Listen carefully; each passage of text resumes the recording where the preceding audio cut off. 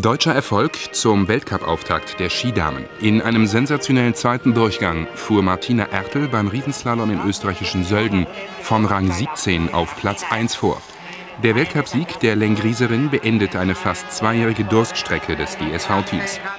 Bundestrainer Wolfgang Mayer sprach danach von einem schönen Lebenszeichen. Die Norwegerin Andrine Flemmen wurde Zweite.